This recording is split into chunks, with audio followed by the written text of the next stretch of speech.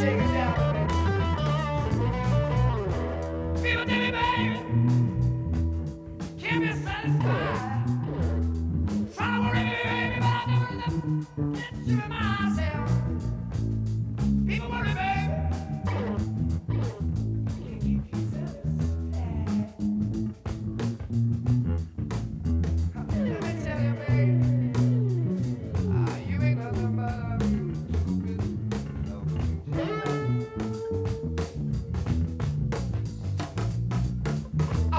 the juice runs